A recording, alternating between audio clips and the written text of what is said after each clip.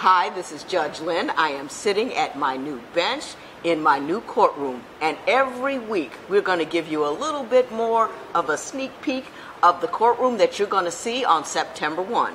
So follow us on our Facebook or Twitter page until September 1. This session of Divorce Court is adjourned.